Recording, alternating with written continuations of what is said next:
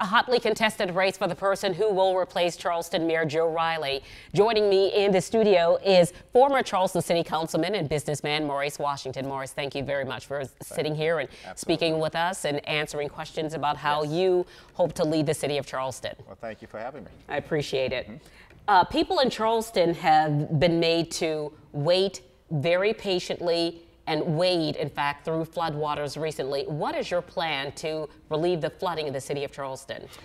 Well, I'm glad you said, you asked, what is my plan to relieve? Because I don't think we could solve the problem uh, completely. We are the low country. Uh, but some of the things that we can do and do immediately is provide the proper maintenance to existing drainage systems. Uh, we, we have to do a better job. Before we start to invest in, in new infrastructure, let's take care of what we have currently. And uh, my goal, my objective is to ensure that we hire great uh, engineers, great planners, uh, uh great uh, construction minds to deal with this drainage problem. We also have to uh, put the brake on overdevelopment, particularly in low-lying areas, prevent further capping of wetlands. wetlands in my judgment, is the first line of defense against floodwater, stormwater, uh, and then prioritize uh, where the investments, future investments should be made. Drivers can often spend hours trying to get mm -hmm. into the city of Charleston, trying to get on the peninsula. How do you plan to ease traffic congestion without eliminating the character of Charleston streets? Well, you know, traffic congestion is a uh, region-wide problem and it's going to require a regional approach, working across governmental sectors to get this uh, situation under control.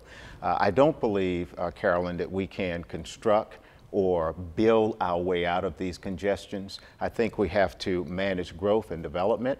I think uh, land use planning should drive development as opposed to development driving land use planning. And that seems to be the, uh, the biggest problem right now. Once policy decisions are focused on where the growth will go, roads and transit can then follow, of course, in the right places.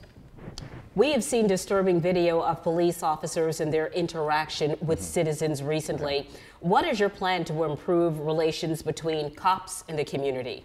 Uh, you know, in the city of Charleston, we're fortunate to have a number of programs that we currently operate. The DARE programs in schools, we have uh, neighborhood outreach effort, lots of social interaction between uh, police and neighborhood residents. Uh, and um, I think in addition to uh, what we're already doing, uh, and as opposed to demonizing all police officers. it's stressful. I think it's important that we also uh, teach our citizens to obey the law as well. Hands down, hands up, on your knees, hands behind your back. Let's let's obey the orders of, of law enforcement orders, uh, officers. Let's not escalate the situation and, um, and let's try to basically understand uh, one another a lot better than we are right now. For nearly 40 years, Mayor Riley has led the city of Charleston, and had he decided not to step down right now, probably would have been reelected. What part of Mayor Riley's legacy will you continue? Well, I think um, quality of life, livability of neighborhoods, uh, I think represents the, uh, the cornerstone of his contribution to the city. He came along at the time when the management style demanded a bottom, a top-down management style. Uh, uh today, I think we're looking more at a bottom-up, which is my style, but um, uh, he has done across the board so many wonderful things. It's, it's hard to cherry pick. Uh, I just hope to improve upon his good work. Maurice, if you were not in this race, mm -hmm. who among the five candidates would you vote for and why? oh, you know, we've had over 30 or so candidates for him. Uh, I, I, tease uh, uh, all the time that uh, we've had so many of them. We no longer take each other seriously.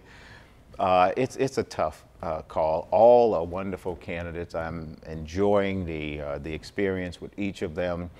Uh, Would my, you my vote mom, for one of the candidates? You know, my mom served, uh, was the Stavrinakis' nanny.